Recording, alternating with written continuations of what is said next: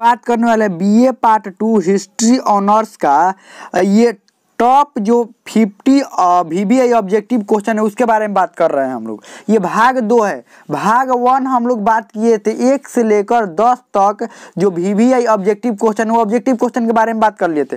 ये most important VBI objective question ध्यान रखिएगा।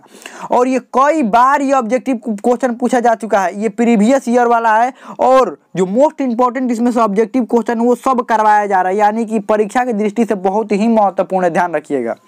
तो ये इसको अंत तक ज़रूर देखिए और इसके साथ साथ ही ये इसमें से देखिए, हर भाग में मतलब इससे पहले वाला भाग देखना चाहते हो तो लिंक डिस्क्रिप्शन में होगा प्ले लिस्ट का देख सकते हैं या प्ले लिस्ट में भी जाकर देख सकते हैं। इसी चैनल पर प्ले लिस्ट भी बना हुआ है। ये सभी भाग महत्वपूर्ण है। इसका भाग दो है, फिर भाग तीन आएगा, ऐसे करके पचास को ऑब्जेक्टिव क्वेश्चन करवा देंगे। और हर क्वेश्चन के साथ कम से कम एक क्वेश्चन के साथ दो तीन गो और एक्स्ट्रा क्वेश्चन करवाते हैं। और ये भी बताते हैं कि अलग अलग तरीके से क्वेश्चन कैसे पूछा जाएगा तो इसको अंत तक देखते रहिए। चलिए हम लोग शुरू करते हैं। तो हम लोगों का दस तक क्वेश्चन कर लिए तब ग्यारह नंबर क्वेश्चन है ध्यान रखिएगा। दस तक क्वेश्चन हम लोग कर लिए तो अगर इससे पहले वाला भाग का वीडियो नहीं देखा है तो लिंक डिस्क्रिप्शन में प्ले लिस्ट का देख सकते हैं प्ले लिस्ट में जाकर देख सकते हैं। तो चलिए हम लोग शुरू करते हैं। हिंदुस्तान नाम किसने दिया? जो भारत का नाम हिंदुस्तान ये तो भा, भारत जो नाम है वो भारत राजा भारत के नाम पर पड़ा था। और हिंदुस्तान आखिर नाम भारत को किसने दिया था? तो ये अंग्रेज़ों ने, फ्रांसीसियों ने, ईरानियों ने या अरबी ने? तो ईरानियों ने दिया था, ध्यान रखिएगा। और यहाँ ईरानियों की जगह पर तुर्की भी आ सकता है। कभी कभी तुर्की भी देता है, ध्यान रखिएगा। तो ईरानी की जगह पर अगर तुर्की आए, ईरानी वहाँ पर ना रहेगा। अगर तुर्की रहेगा तो आप तुर्की भी क्या कर दीजिएगा? टिक कर दिए देखिए ईरान और तुर्की दोनों अलग अलग देश हैं। लेकिन अगर तुर्की भी रहेगा तो आप टिक कर देना है तुर्की, ध्यान रखिएगा। या ईरानी, दोनों में से कोई एक रहे तो देखिए, तुर्की रहेगा तुर्की नहीं तो ईरानी रहेगा तो ईरानी। अगर दोनों एक साथ आ जाए, तुर्की और ईरानी अगर एक साथ आ जाए, ध्यान रखिएगा। अगर तुर्की और ईरानी एक साथ आ जाए तो आपको ईरानी को टिक करना है। सबसे इसमें जो ज़्यादा प्रचलित नाम है कि हाँ ईरानियों द्वारा भारत का जो नाम है को नाम हिंदुस्तान दिया गया था। लेकिन अगर इन दोनों में से आ जाए आपको चुनना ईरानियों में से और तुर्की में से तो आप चुनेंगे तु, ये ईरानियों को चुनेंगे। अगर ये ईरानी नहीं रहेगा तो आप तुर्की को क्या कर दीजिएगा? टिक कर दीजिएगा। चलिए आगे बढ़ते हैं हम लोग। ये सबसे महत्वपूर्ण क्वेश्चन सबका नोट्स आप लोग बनाते जाइएगा। गुलाम वंश के संस्थापक कौन थे?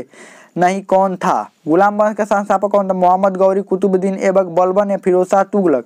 तो ये कुतुबुद्दीन ऐबक था गुलाम वंश का संस्थापक। लेकिन वास्तविक संस्थापक आपसे पूछा जाए, वास्तविक वास्तविक संस्थापक, ये वास्तविक संस्थापक इल्तुतमिश को माना जाता है, ध्यान रखिएगा। इल्तुतमिश इल्तुतमिश को माना जाता है, वास्तविक संस्थापक इल्तुतमिश है, ध्यान रखिएगा। और देखिए इसके बारे में और क्या बताते हैं। इल्तुतमिश जो था, वो वास्तविक संस्थापक था इस वंश का। इस वंश का जो वास्तविक संस्थापक, ये इसे क्यों नहीं माना गया? आप बताइए तो। ये कुतुबुद्दीन ऐबक को क्यों नहीं माना गया? जब पहला राजा गुलाम वंश का था ये राजा तो इसको क्यों नहीं माना गया? क्योंकि ये खुद को राजा, ये खुद को राजा ही नहीं मानता था। खुद को ये राजा नहीं मानता था। ध्यान रखिएगा। और इसको देखिए गुलाम वंश को ममलुक वंश भी कहते हैं। ममलुक वंश भी कहते हैं ध्यान रखिएगा। ममलुक वंश। और ये खुद को न राजा माना और खुद को देखिए क्या कहता सिपह सलार कहता था। सिपह सिपह सलार कहता था खुद को ध्यान रखिएगा। पूछा जाएगा कौन सा राजा खुद को गुलाम वंश का सिपह सलार कहता था? यही कुतुबुद्दीन ऐबक जो था वो खुद को सिपह सलाह सिपह सल अ, जो सिपह सलार कहता था खुद को। सिपह सलार यानी राजा का जो सेवक होता है उसको सिपा सलार कहा जाता है। और एक बात, एगो और कारण था दो गो महत्वपूर्ण कारण था ये दिल्ली सल्तनत का भी ये देखिए, इसने क्या किया था ये अपना राजधानी कहाँ से ये राज्य चलाता था, लाहौर से चलाता था। लाहौर अपनी राजधानी रखा था, न कि दिल्ली रखा था, इसीलिए इसको गुलाम वंश का देखिए गुलाम वंश का संस्थापक तो इसलिए नहीं कहा जाता था, क्योंकि ये खुद को राजा नहीं मानता था। और दिल्ली सल्तनत में, ये दिल्ली सल्तनत में तब एंट्री हुआ जब इसकी राजधानी इसने ना किया था, जब राजधानी दिल्ली आया। तो ये अगर आ जाएगा गुलाम वंश का जो वास्तविक संस्थापक है इल्तुतमिश को माना जाता है। ध्यान रखिएगा चलिए आगे बढ़ते हैं। ये अगला है राज तरंगणी पुस्तक के रचयिता कौन है? तुलसीदास कल्लड़ पतंजलि वाण भट्ट तो ये कल्लड़ है। राज तरंगणी पुस्तक के रचयिता कल्लड़ है ध्यान रखिएगा। ओ और बाण भट्ट की भी बताए हैं तुलसीदास की भी किताब की रच, रचना बताए एक दो किताब का नाम बताइए सबको आपको ध्यान रखना है। चलिए आगे बढ़ते हैं हम लोग। दिल्ली सल्तनत की प्रथम महिला और प्रथम और अंतिम महिला शासिका कौन थी? चाँद, बीबी नूरजहां रजिया सुल्तान मुमताज़ तो रजिया सुल्तान थी। प्रथम और अंतिम महिला शासक थी दिल्ली सल्तनत की, ध्यान रखिएगा। ये किसकी बेटी थी? ये इलतुतमिश की थी, ध्यान रखिएगा। इलतुतमिश की बेटी थी। इलतुतमिश की बेटी कब, कौन थी? राजिया सुल्तान, ध्यान रखिएगा।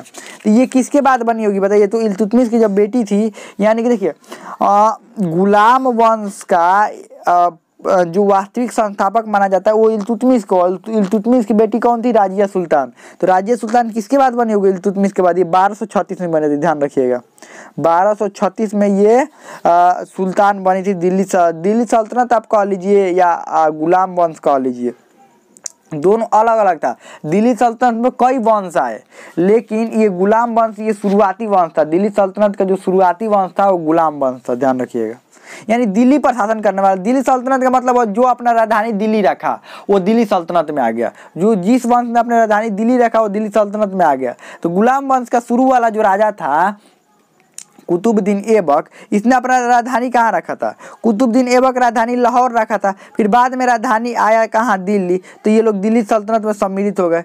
चलिए तो आगे बढ़ते हैं हम लोग। तो इसका जो आंसर हो जाएगा इसका जो आंसर हो जाएगा वो रजिया सुल्तान हो जाएगा प्रथम और अंतिम महिला शासी का। आगे बढ़ते हैं हम लोग। देखिए इसमें से आप बताइएगा कितना क्वेश्चन का आंसर आप सही लिख पाए हैं आ, सही आपको याद था ये ज़रूर बताइएगा। सभी का नोट्स आप बनाते रहिएगा। किस वंश का आ, किस वंश किस राजवंश ने एलोरा मंदिर का निर्माण करवाया था? कौन सा राजवंश था जो एलोरा मंदिर का चोल पल्लव चालुक्य या राष्ट्रकूट? तो ये राष्ट्रकूट वंश के जो राजा थे, कृष्ण प्रथम। कृष्ण प्रथम ने ये एलोरा के मंदिर का निर्माण करवाया ध्यान रखिएगा एलोरा का मंदिर का निर्माण किसने किया? राष्ट्रकूट के जो राजा थे, कृष्ण प्रथम उन्होंने ही करवाया था। आगे बढ़ते हैं। ढाई दिन का झोपड़ा किसने बनवाया था? इल्तुतमिश, बलबन कुतुबुद्दीन ऐबक अलाउद्दीन खिलजी। तो देखिए, ये बनवाया था कुतुबुद्दीन ऐबक ने। कुतुबुद्दीन ऐबक ने बनवाया था मोहम्मद गौरी के कहने पर। किसके? मोहम्मद। मोहम्मद गौरी के कहने पर ये कुतुबुद्दीन ऐबक ने बनवाया था। ये ढाई दिन का झोपड़ा बनवाया था, ध्यान रखिएगा। चलिए आगे बढ़ते हैं हम लोग। दिल्ली सल्तनत के किस सुल्तान ने पहली बार दक्षिण भारत को जीता था? दिल्ली सल्तनत के किस सुल्तान ने पहली बार दक्षिण भारत को जीता था? फिरोज शाह तुलक मोहम्मद बिन तुलक कुतुबुद्दीन ऐबक अलाउद्दीन खिलजी था। अलाउद्दीन खिलजी था जो दिल्ली सल्तनत में था पहली बार। देखिए, एक बात समझिए। आपको ये नहीं समझ में आ रहा होगा, दिल्ली सल्तनत ही तो बहुत अच्छा से पढ़ाए थे दिल्ली सल्तनत, लेकिन फिर से एक बार समझाते हैं, देखिए, दिल्ली सल्तनत क्या था और वंश क्या थे? दिल्ली सल्तनत पर जो पहला वंश की बात करें, हम गुलाम वंश की बात करते हैं।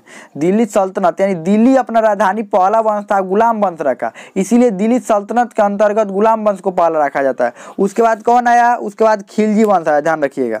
खिलजी वंश। तो ये वंश तो बदलेगा लेकिन मतलब अलग अलग वंश तो आएगा, लेकिन अगर जो राजधानी अपना दिल्ली रखेगा, वो किसके अंतर्गत आ जाएगा? दिल्ली सल्तनत के अंतर्गत, ध्यान रखिएगा। तो अलाउद्दीन खिलजी ही था, उसने क्या किया था? अलाउद्दीन खिलजी जो था, वो प्रथम जो शासक था दिल्ली सल्तनत का, जो दक्षिण भारत को जीता ध्यान रखिएगा।